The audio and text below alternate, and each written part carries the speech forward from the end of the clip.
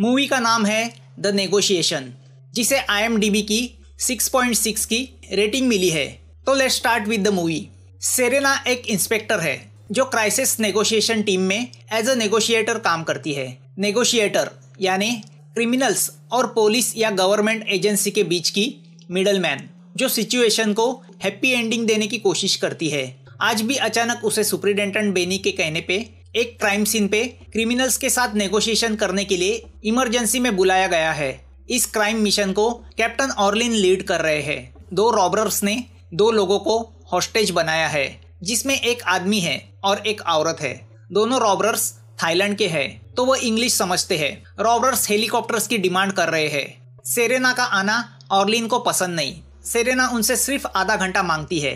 मगर Serena robbers के साथ नेगोशिएट कर रही होती है कि तभी ऑर्लिन अटैक करने का ऑर्डर देता है। पुलिस के अटैक में रॉबर्स के साथ वो दोनों हॉस्टेज भी मारे जाते हैं, जिससे डिप्रेस होकर सेरेना ऑर्लिन को अपना रेजिग्नेशन देती है, मगर वह एक्सेप्ट नहीं करता। उल्टा वो उसे कुछ दिनों के लिए छुट्टी पे भेज देता है। यहाँ थाईलैंड में कुछ लोग टोनी नाम के रिपोर्टर को किडनैप करते हैं, और उन गुंडों का बॉस है मैक्स। यहाँ सेरेना घर में रिलैक्स कर रही होती है कि सुप्रिटेंडेंट बेनी उसके घर आता है और उसे कहता है कि उसकी ज़रूरत आ पड़ी है तो वह उसे ज़बरदस्ती अपने साथ एक आलीशान कंपनी में लेके जाता है, जहाँ एक रूम में एक ऑडियो वीडियो इक्विपमेंट का सेटअप लगाया गया है और वहाँ पे पुलिस कमिश्नर फिलिप्स और नेशनल सिक्योरिटी एजेंसी का सेक्रेटरी गोंग भी होता है। सेरेना को कुछ समझ में नहीं आता और कोई उसे बताना भी नहीं चाहता। सेरेना को क्रिमिनल के साथ नेगोशिएशन करने डायरेक्ट चेयर में बिठाया जाता है। सेरेना को यह भी पता नहीं कि किसके साथ उसे क्या बात करनी है। मिशन की इंचार्ज मेगन उसे बताती है कि एक्सप्लेन करने का वक्त नहीं है। अब सामने रखे मॉनिटर पे वो आदमी दिखता है, जो सेरेना को अपना इंट्रोडक्शन देता है कि उसका नाम मैक्स है। सेरेना भी उसे अपना इंट्रोडक्शन देती है और उससे कहती है कि वह नेगोशिएशन टीम में है। मैक्स सेरेना को उसकी ब्यूटी मेजरमेंट्स पूछता है, मगर सेरेना बीच में ही वीडियो कॉल कट करती है, क्योंकि वह जानना चाहती है कि मैटर क्या है। और वह किसके साथ डील कर रही है? अब वह सेक्रेटरी के पास आके उससे कहती है कि सिचुएशन की डिटेल्स वो उसे दे। अब मैक्स फिर से कॉल करता है। तो इस बार मेगन कॉल पिक करती है। सेरेना ने मैक्स का कॉल आधे में कट किया था। तो इस बात का मैक्स को गुस्सा आया है। वो कैमरा में एक हॉस्टेज दिखाता है। वो हॉस्टेज कोई और नहीं, बल्कि कैप्टन ऑर्लिन होता है। उसे देख के सेरेना शॉक होती है। मैक्स ऑर्लिन के सर पे गन टिका के ट्रिगर दबाता है। मगर बुलेट नहीं होने की वजह से फायर नहीं होता। अब सेरेना फिर से मॉनिटर के सामने आके बैठ जाती है और उसे अपनी ब्यूटी मेजरमेंट्स बताती है। Thirty four twenty four thirty five Max उसे देख के हँसते हुए बोलता है कि तुम्हें देख के लगता नहीं। तो उस पर सेरेना उससे कहती है कि झूठ लग रहा है तो मेरे साथ डेट पे चलो। अब मैक्स उससे कहता है कि, हम दोनों के बीच बातचीत हो सकती है, मगर कोई झूठ नहीं चलेगा। मैक्स उससे पूछता है कि, रूम में और कौन कौन है? सेरेना उसे बताती है कि कमिश्नर के साथ मेगन भी है। वो गाँव का नाम नहीं बताती। सेरेना मैक्स से पूछती है कि हॉस्टेजेस को छोड़ने के लिए उसकी डिमांड क्या है? तो मैक्स उससे बोलता है कि जल्दी पता चल जाएगा। इतना कह के वो कॉल कट करता है। मेगन सेरेना से कहती है कि क्राइम इन्वेस्टिगेशन करने रिपोर्टर टोनी थाईलैंड गया था, जहाँ उसे किडनैप किया गया। टोनी कोरियन डेली न्यूज़पेपर के लिए काम करता है। वह बताती है कि मैक्स एक इंटरनेशनल क्रिमिनल गैंग का लीडर है, जो साउथ ईस्ट एशिया में एक्टिव है। टोनी की रिहाई को लेके नेगोशिएशन करने के लिए कैप्टन ऑर्लिन को थाईलैंड भेजा गया था, मगर उसे भी किडनैप किया गया और मैक्स ने ही डिमांड रखी थी कि वह सिर्फ़ सेरेना के ज़रिए ही बात करेगा, इसलिए सेरेना को इमरजेंसी में बुलाया गया। सेरेना समझ नहीं पाती कि मैक्स ने उसे ही क्यों चूज़ किया। मीडिया से यह किडनैपिंग की बात छुपाई गई है। डिफेंस डिपार्टमेंट मैक्स के नाका आइलैंड पे अटैक करने की सोच रहा है, मगर वह एरिया पायरेट और मिलिटेंट से भरा है और उनके हिसाब से इसी आइलैंड पे मैक्स ने हॉस्टेजेस को रखा है, जो ऑफिशियली थाई टेरिटरी है। तो जल्दी ही हॉस्टेजेस को छुड़ाने के लिए ऑपरेशन शुरू किया जाएगा, मगर उसके लिए थोड़ा वक्त लगेगा और कमिश्नर चाहते हैं कि सेरेना मैक्स को बातचीत में फंसा के वक्त निकाले, और वो वक्त है फोर्टीन आवर्स का। सेरेना को समझ में नहीं आता, इतने घंटे वो मैक्स को कैसे एंगेज रखेगी? अब सेरेना कमिश्नर से कहती है कि उसकी टीम को बुलाया जाए। या मिलिट्री ऑपरेशन शुरू हो जाता है। एक प्लेन में बैठ के कमांडोज आइलैंड की तरफ़ निकल पड़ते हैं। दूसरी ओर सेरेना मैक्स के बारे में इंफॉर्मेशन इकट्ठा करने लगती है। तो उसे पता चलता है कि मैक्स भले कोरिया में पैदा हुआ हो, मगर अब वह यूके का सिटीजन है, जहाँ उसका नाम रिचर्ड है। इन्वेस्टमेंट प्रोग्राम के ज़रिए उसे सिटीजनशिप मिली है। मैक्स एक ऑर्फन, यानी अनाथ है, और अर्ली एज से ही वह एब्रॉड में है। अब फिर से मैक्स का कॉल आता है। मैक्स सेरेना से पूछता है कि उसे किस तरह के मर्द पसंद है। तो उस पर सेरेना उसे कहती है कि उसे ऑनेस्ट मर्द पसंद है, जैसे कि वह है। मैक्स उससे पूछता है कि वह कैसे कह सकती है कि वह ऑनेस्ट है। तो सेरेना उससे कहती है कि उसे लोगों को पहचानने की गॉड गिफ्ट है। सेरेना मैक्स से कहती है कि वह चाहती है कि इस मुलाकात की एंडिंग हैप्पी हो। मैक्स उससे कहता है कि उसे नहीं लगता एंडिंग हैप्पी होगी। अब मैक्स मुद्दे पे आता है और सेरेना से कहता है कि वो कोरियन डेली के सीईओ जॉर्डन से मिलना चाहता है। वह भी एक घंटे के अंदर जॉर्डन को गोल्फ क्लब से उठा के उस बिल्डिंग में लाया जाता है। वह बेचारा कंफ्यूज होता है कि मामला क्या है। कमिश्नर उसे ब्रीफ में आइडिया देते हैं। तो अब जॉर्डन को उसी गोल्फ के कपड़ों में कैमरा के सामने बिठाया जाता है। मैक्स जॉर्डन से कहता है कि उसने उसके एक एम्प्लॉय को किडनैप किया है। क्या वो ये जानता है? जॉर्डन मैक्स से कहता है कि क्यों नहीं? वो टोनी को अच्छी तरह जानता है। मैक्स कहता है कि एम्प्लॉय किडनैप होने के बावजूद आपके पेपर में ये न्यूज़ नहीं छपी। तो डरते हुए जॉर्डन उससे कहता है कि पुलिस का वैसे ऑर्डर था। मैक्स जॉर्डन से उन हाईलाइट न्यूज़ के बारे में पूछता है, जो टोनी ने कवर किए थे। जॉर्डन भी धड़ाधड़ टोनी का बायोडाटा उसके सामने पड़ता है। मगर मैक्स जब जॉर्डन से पूछता है कि टोनी कितनी शराब पीता है तो जॉर्डन हड़बड़ा जाता है। मैक्स जॉर्डन के गोल्फ के कपड़े देख के उससे पूछता है कि तुम्हारा एक एम्प्लॉय किडनैप हुआ है और तुम मज़े से गोल्फ खेल रहे हो। तो मैक्स समझ जाता है कि टोनी ना ही जॉर्डन का एम्प्लॉय है और ना ही वह कोरियन डेली में काम करता है। तो अब कमिश्नर टेक ओवर करते हैं। वो मैक्स से पूछते हैं कि अपनी डिमांड बताओ। तो उस पर मैक्स बहुत गुस्सा होता है। वो टोनी के सर पे गन रख के जॉर्डन से पूछता है कि क्या टोनी उसका एम्प्लॉय है? मैक्स जॉर्डन से कहता है कि अगर उसने जवाब नहीं दिया तो वह उसकी फैमिली को भी किडनैप करेगा। डर के मारे जॉर्डन मान जाता है कि टोनी उसका एम्प्लॉय नहीं है। अब मैक्स सेरेना से कहता है कि हम दोनों के बीच तय हुआ था कि कोई झूठ नहीं बोलेगा, और फिर भी तुमने झूठ बोला। दरअसल यह बात तो सेरेना को भी पता नहीं होती। मैक्स उससे कहता है कि तुमने झूठ बोला, अब सजा तो मिलेगी। इतना कह के वह कैप्टन ऑर्लिन को शूट कर देता है। सेरेना की आँखों में पानी आ जाता है। वह मैक्स को गाली गलोच करती है। तो मैक्स गुस्सा होता है, मगर कमिश्नर कॉल कट कर देता है। सेरेना मेगन से पूछती है कि टोनी असलियत में कौन है, मगर मेगन जवाब नहीं देती। तो सेरेना कमिश्नर से बहस करती है। तो सेरेना को रूम के बाहर निकाला जाता है। अब उसकी जगह एनआईएस के दो एजेंट्स लेते हैं। मेगन को भी रूम के बाहर निकाला जाता है।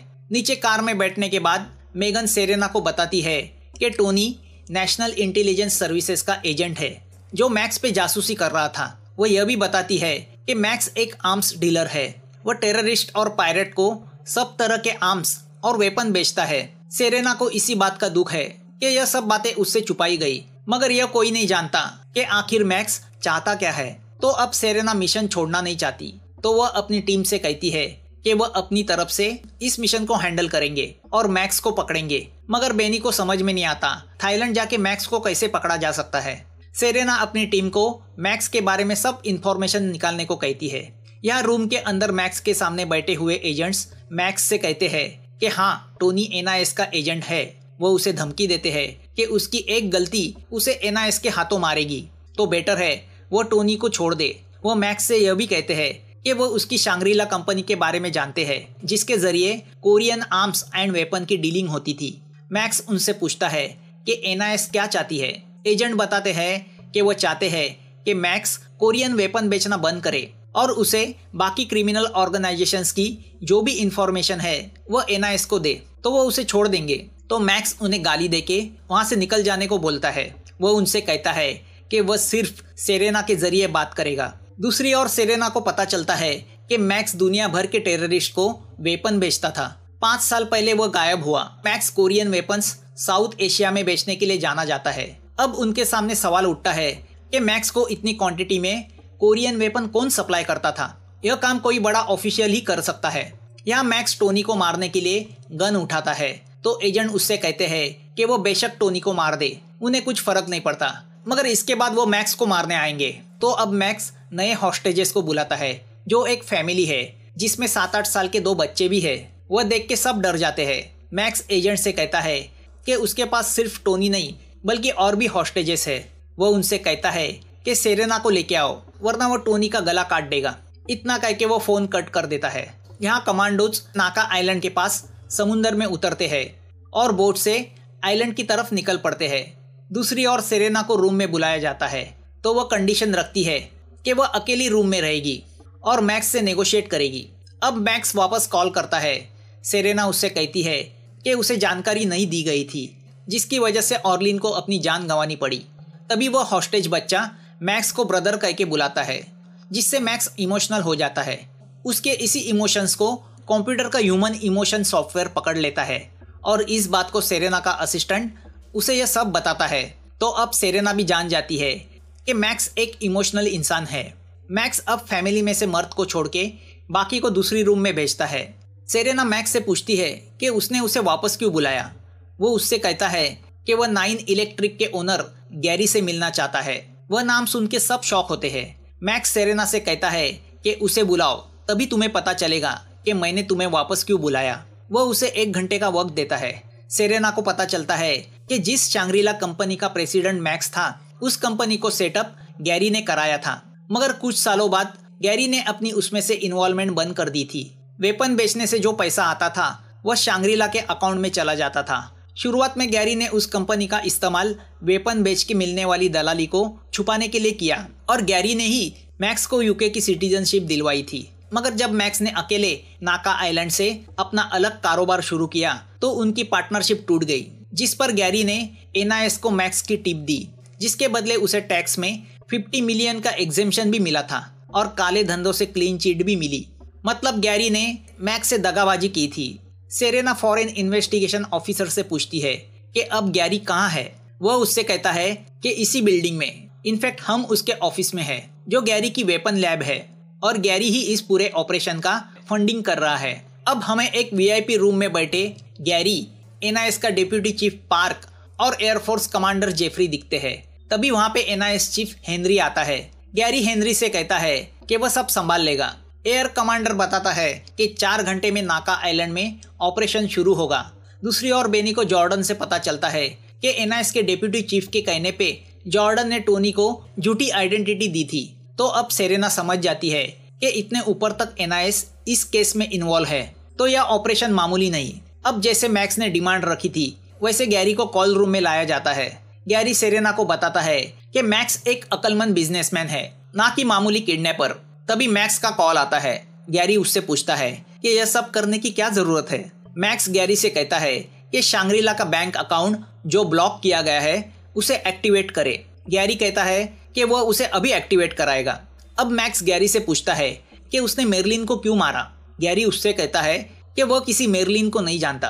तो मैक्स उसे याद दिलाता है कि दस दिन पहले कुछ रॉबरर्स ने दो लोगों को हॉस्टेज रखा था। उसी में जो लड़की थी, वही मेरलिन है। यह वही केस है जो फ़िल्म के शुरुआत में हमने देखा था। सेरेना को भी वह इंसिडेंट याद आता है। मगर गैरी कुछ भी न जानने का ढोंग रचाता है। वो मैक्स को सॉफ्टली धमकी देता है कि वो जो कुछ कर रहा है उसकी वजह से उसकी जान जा सकती है।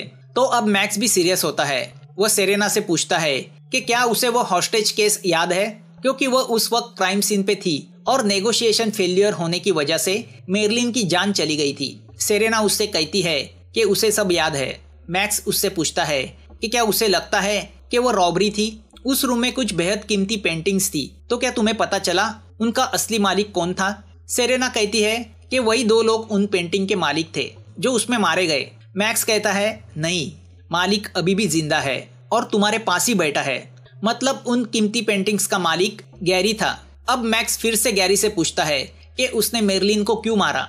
गैरी साफ़ मना करता है कि उसे ऐसी किसी चीज़ के बारे में पता है। सेरेना मैक्स से पूछती है कि उसे ऐसा क्यों लगता है कि गैरी ने मेरलिन को मारा? मैक्स कहता है कि मेरलिन गैरी की पर्सनल सेक्रेटरी थी, जो उसके अकाउंट को देखती थी। उसके सब सीक्रेट जानती थी। उसी ने मेरलिन को गैरी से इंट्रोड्यूस किया था। गैरी अपने इलीगल वेपन्स के डीलिंग से आए हुए पैसों को उन बेहद कीमती पेंटिंग्स में इन्वेस्ट करता था। मतलब उन पैसों से वो पेंटिंग्स खरीदता था। एक एक पेंटिंग दस दस बिलियन की होती थी और उन पेंटिंग्स को फॉरेन कंट्रीज़ से कोरिया लाके इस तरह लीगली काले पैसे का मनी लॉन्ड्रिंग करता था। किसी को शक भी नहीं होता था। अब मैक्स उन्हें एक ऑडियो रिकॉर्डिंग सुनाता है, जिससे पता चलता है कि उन पैसों से गैरी पुराने फाइटर जेट्स खरीद के उन्हें नए बता के एनआईएस चीफ डिप्यूटी चीफ और एयर कमांडर के अप्रूवल से कोरियन गवर्नमेंट को बेचना चाहता था, क्योंकि किसको जेट फाइटर का नॉलेज है कि क्या पुराना है और क्या नया, और पब्लिक को क्या पता चलता है। बिलियन से और बिलियन सबका इसमें शेयर था। अब वह ऑडियो सुन के रूम में बैठे सभी शौक होते हैं कि उनके देश में इतने लेवल तक का करप्शन चलता है। यह ऑडियो रिकॉर्डिंग गैरी ने ही की थी, क्योंकि वह हर बात का सबूत रखता है। वीआईपी रूम में बैठा हेनरी भी यह सब सुनता है और शौक होता है। मैक्स सेरेना से कहता है कि इस सबूत की मदद से क्या वो उन लोगों को अरेस्ट कर सकती है? सेरेना कहती है कि ऑडियो क्लिप को कोर्ट में सबूत नहीं माना जाता और ऐसे बड़े केस में तो बिल्कुल ही नहीं। तो अब मैक्स एनआईएस चीफ हेनरी को कॉल रूम में लाने को कहता है। वह सुन के हेनरी के चेहरे पे डर फैल जाता है। मैक्स कहता है कि एक घंटे के अंदर हेनरी नहीं आया तो वह सब हॉस्टेजेस को मार देगा। वीआईपी रूम में गैरी लौटता है तो हेनरी गैरी पे गुस्सा होता है और कहता है कि जब तक मैक्स मर नहीं जाता और सब सबूत हासिल नहीं किए जाते, कोई रूम छोड़ के नहीं जाएगा। यहाँ सेरेना अपने टीम के साथ मिलके मेरलिन का बायोडाटा निकालती है, मगर उसे मेरलिन और मैक्स के बीच का कनेक्शन पता नहीं चलता। गोंग आके सेरेना से झूठ बोलता है कि हेनरी प्रेसिडेंट के साथ मीटिंग में बिज़ी है तो वह आ नहीं सकता। दूसरी ओर बेनी को तहकीकात से पता चलता है कि कैप्टन ऑर्लिन भी उनके साथ मिला हुआ था। और उनसे रिश्वत लेता था। इसलिए उस रॉबरी के केस में उसने ज़रूरत न होने पर भी अटैक करके सबको मार दिया। क्योंकि वह रॉबरर्स पकड़े जाते तो सच्चाई बाहर आती कि वह एक प्लान क्राइम है, जिसमें पेंटिंग को चुराने का फार्स बना के मेरलिन को मारना तय हुआ था। इसलिए उस दिन क्राइम लोकेशन पे सेरेना को देख के ऑर्लिन डिस्टर्ब हुआ था। कमिश्नर सेरेना को बुला के कहते हैं कि कैसे भी करके मैक्स को बातचीत में लगा के दो घंटे निकालो, तब तक कमांडोज उसके आइलैंड तक पहुँच जाएँगे। सेरेना समझ जाती है कि उसे भी करप्शन का हिस्सा बनाया जा रहा है। सेरेना मैक्स से कहती है कि हेनरी आउट ऑफ़ रीच है तो कांटेक्ट नहीं हो पाया। तो अब मैक्स टोनी को मारने के लिए गन उठाता है। सेरेना मैक्स से कहती है कि वो जिन लोगों से लड़ रहा है, वो बहुत बड़े हैं। उनसे ऐसे जीता नहीं जा सकता। उन्हें सबूतों से ही हराया जा सकता है। मैक्स कहता है कि अगर तुम उनके अगेंस्ट एक्शन लोगी तो तुम्हारा जॉब चला जाएगा। सेरेना उससे कहती है कि सब सबूतों को छाना जाएगा और उन लोगों को कोर्ट में खड़ा किया जाएगा। अगर पेंटिंग के ओनर की लिस्ट मिली तो सबूत मिल जाएगा, क्योंकि उस बिलियन डॉलर पेंटिंग के ओनर वो चार लोग हैं। मैक्स कमिश्नर को बुला के पूछता है कि क्या इतना सुनने के बाद उसने गैरी को इंट्रोगेट किया था? वो हाँ कहता है। मैक्स कमिश्नर से पूछता है कि क्या वो मेरलिन का केस फिर से ओपन करेगा? कमिश्नर गारंटी देता है कि वो केस ओपन करेगा। मैक्स उससे पूछता है कि क्या वो उसका ऑफिशियल स्टेटमेंट है? कमिश्नर हाँ कहता है। तभी कंट्रोल रूम में पता चलता है कि यह सब बातचीत सोशल साइट पे लाइव स्ट्रीम हो रही है। दुनिया उसे देख रही है। वह सब देख के सब हड़बड़ा जाते हैं। कमिश्नर को लग रहा था उसका प्रॉमिस चार दीवारों में रहेगा, मगर उसे पूरी दुनिया देख रही थी। मैक्स ने बहुत ज़बरदस्त चाल चली थी। अब मीडिया में भी यह न्यूज़ लाइव चलने लगती है कि कैसे किडनैपिंग हुई और कैसे कॉन्स्परसी चल रही है। स्ट्रीमिंग थाई के सर्वर से हो रही है। कमिश्नर जनता के सामने प्रॉमिस करके पूरी तरह फंस जाता है। सेरेना मैक्स से कहती है कि अगर वह इस तरह ट्रिक करेगा तो वह उसकी कोई मदद नहीं करेगी। तो मैक्स उस पर गुस्सा होकर बोलता है कि ना उन्होंने गैरी को इंट्रोगेट किया, ना अवेलेबल होने के बावजूद हेनरी को ला पाए। वह उसे ट्रिक कर रहे हैं। मैक्स टोनी को जख्मी करता है। अब मैक्स डायरेक्ट हेनरी से कहता है कि एक घंटे के अंदर अगर वह उसके सामने नहीं आया तो वह टोनी के साथ सभी हॉस्टेजेस को एक एक करके मार देगा। वह सुन के हेनरी गैरी को फंसाने का प्लान करता है कि वही करप्शन के पीछे मेन आदमी है। अब वह कमांडोज को अटैक करने का ऑर्डर देता है, भले मैक्स के साथ हॉस्टेजेस मारे जाए। दूसरी ओर बेनी, वह रॉबरी वाले क्राइम सीन पे पहुँचता है, जहाँ मेरलिन रहा करती थी। वहाँ उसे एक ऑर्फनेज का फ़ोटो दिखता है, जिसके सामने कुछ बच्चे खड़े हैं। यहाँ गोंग मैक्स के आइलैंड पे अटैक की तैयारी करता है। सेरेना समझ जाती है कि अगर ऐसा हुआ तो हॉस्टेजेस मारे जाएँगे। मगर गोंग को बड़े लोगों की पड़ी है। वो उससे कहता है कि यह एनआईएस का ऑपरेशन है तो वो उससे दूर रहे। तो अब सेरेना गोंग को धमकी देती है कि वो मैक्स को इस मिलिट्री ऑपरेशन के बारे में इन्फॉर्म करेगी। यहाँ ऑर्फनेज में तहकीकात करने पर बेनी को पता चलता है कि मेरलिन, मैक्स की छोटी सिस्टर थी और फ़ोटो में दिख रही बिल्डिंग ऑर्फनेज की पुरानी बिल्डिंग है, जो अब खंडर हो चुकी है। बेनी यह बात सेरेना को मैसेज करता है। मैक्स सेरेना से कहता है कि अब उसने यह मिशन आधे में छोड़ा तो वह लोग भी छूट जाएँगे और शायद वह लोग उसे भी मार दे। इसलिए वह नाउ और नेवर की सिचुएशन में है। यहाँ कमांडोज मैक्स के अड्डे पे अटैक करते हैं और वहाँ मैक्स के लोगों को एक एक करके मारते हैं। सेरेना अपनी तरफ़ से पूरी कोशिश करने लगती है कि मैक्स हॉस्टेजेस को छोड़ दे। दूसरी तरफ़ कमांडोज हेनरी के कहने पे मैक्स की मेन बिल्डिंग पे अटैक करने जाते ही है कि तभी बहुत बड़ा ब्लास्ट होता है और बिल्डिंग पूरी तरह तहस नहस हो जाती है। मैक्स का कॉल कट होता है। वह देख के सेरेना सुन हो जाती है। वीआईपी रूम में सभी राहत की सांस लेते हैं। तभी कॉल रूम में बैठी सेरेना की नज़र मॉनिटर पे जाती है, जिसमें मैक्स की लास्ट इमेज है। वह देख के उसे स्ट्राइक होता है कि अगर मैक्स का अड्डा थाईलैंड में है तो वहाँ खिड़की से सनलाइट आना चाहिए, क्योंकि जब कोरिया में शाम के सात बज रहे हैं तो थाईलैंड में पाँच बज रहे होंगे, क्योंकि दो घंटे का डिफरेंस है। मगर फिर भी पाँच बजे मैक्स की रूम में इतना अंधेरा क्यों है? मतलब साफ़ है, मैक्स थाईलैंड में नहीं, बल्कि कोरिया में ही कई है, और वह ज़िंदा है। उन्हें मैक्स की अपने आदमियों के साथ एयरपोर्ट से आने की वीडियो भी दिखाई देती है। दूसरी ओर बेनी तहकीकात करते करते उस पुराने ऑर्फनेज पहुँचता है। जहाँ उसे कैप्टन ऑर्लिन की लाश दिखती है। मतलब मैक्स उसी ऑर्फनेज को अपने मिशन के लिए इस्तेमाल कर रहा था और सभी हॉस्टेजेस भी सेफ़ होते हैं, मगर वहाँ मैक्स नहीं होता। वीआईपी रूम में सभी ऑपरेशन के सक्सेस को सेलिब्रेट करते हैं। गोंग उन्हें फ़ोन करके मैक्स के ज़िंदा होने की बात बताने जाता है, मगर वो फ़ोन नहीं उठाते। दूसरी ओर मैक्स अपने आदमियों के साथ उसी बिल्डिंग में आता है। वह अपने आदमियों को वापस लौटने को कहता है और खुद वीआईपी रूम की ओर निकल पड़ता है। और सबको मारते हुए रूम के अंदर पहुँच जाता है। यहाँ स्वेट की टीम बिल्डिंग को चारों ओर से घेर लेती है। मैक्स ने अपने बदन पे बॉम्ब्स का जैकेट चढ़ाया है, जिसका डिटोनेटर उसके हाथ में है। सबसे पहले तो वह गैरी को शूट करता है। अब उन बचे हुए तीनों को वह पूछता है कि क्या वह उसके साथ मरने के लिए तैयार है? अब मैक्स डिटोनेटर उठा के ऑन करता है। वह बटन दबाने वाला होता ही है कि रूम में सेरेना आती है।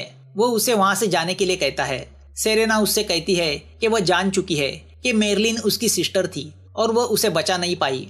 और अपनी सिस्टर का बदला लेने का शायद मैक्स के पास यही रास्ता था। अब मैक्स उसे सच्चाई बताता है कि उसी ने मेरलिन को सबूत इकट्ठा करने के लिए गैरी के पास भेजा था, क्योंकि मैक्स और मेरलिन आगे की ज़िंदगी शांति से गुजरना चाहते थे और वह तभी पॉसिबल था अगर वेपन डीलिंग में इन्वॉल्व लोगों को हमेशा के लिए जेल भेज दिया जाए, जो मैक्स को क्रिमिनल साबित करके एनआईएस के ज़रिए मारना चाहते थे। मेरलिन ने गैरी के लैपटॉप से उसके पूरे काले कारनामों का डेटा तो चुराया, मगर पेन ड्राइव मैक्स को देने के बाद वह मारी गई। मैक्स यह सब सेरेना को बता रहा होता है कि सामने की बिल्डिंग से स्वेट के स्नाइपर मैक्स को टारगेट करते हैं, मगर सेरेना उनके बीच खड़ी होती है और उससे कहती है कि वो उसे एक चांस दे ताकि वो उन लोगों को कोर्ट में खड़ा कर सके। मगर मैक्स हेनरी पे गन तानता है कि तभी स्नाइपर गोली चला के मैक्स को शूट करते हैं। मैक्स ऑन द स्पॉट मर जाता है। मगर सेरेना जान जाती है कि मैक्स के हाथों में रखा डिटोनेटर ऑफ़ था। एक विजुअल से पता चलता है कि मैक्स भी नहीं चाहता था कि सबूत लाने के लिए वो मेरलिन को रिस्क में डाले। मगर मेरलिन अपने भाई के साथ शांति से रहना चाहती थी और उसके लिए वह कुछ भी करने को तैयार थी। अब हेनरी उस वीआईपी रूम से भाग के अपनी कार में बैठता है। मगर तभी सेरेना उसके पास आके उसे धमकी देती है कि वह उसे अरेस्ट करके कोर्ट में खड़ा करेगी। अब सेरेना मैक्स और मेरलिन के ग्रेव के सामने बेनी के साथ बैठ के वह पेन ड्राइव बाहर निकालती है, जिसमें मेरलिन ने सब सबूत डेटा के ज़रिए सेव किए हैं। सेरेना कोर्ट में हेनरी पार्क और जेफरी के खिलाफ वह सब सबूत पेश करती है और खुद ओथ लेती है कि इस करप्शन के केस में वह जो कुछ बोलेगी, सच बोलेगी और सच के सिवा कुछ नहीं बोलेगी। मूवी यहाँ खत्म होती है।